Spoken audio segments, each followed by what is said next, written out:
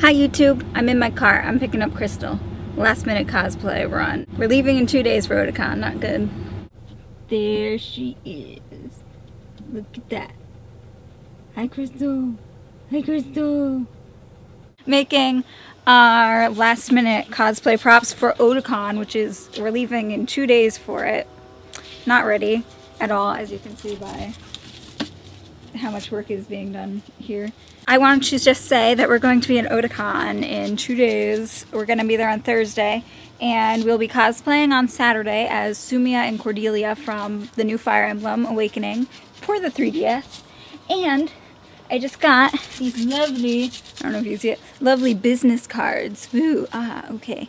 And like, if you want one, you should come find me and I can give you one. Ooh, ah, I don't know if I can focus on it. Um, and that's all. One more thing I forgot, make sure that you follow me on Twitter and or Facebook so that you can actually get my live updates, which I will do from the convention with pictures and stuff goodies and blah blah blah. So follow me there. Just want to say I'm going to be there at Otakon.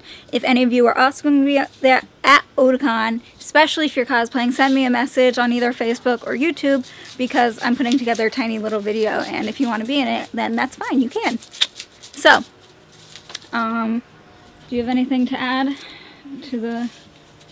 I quit cosplay.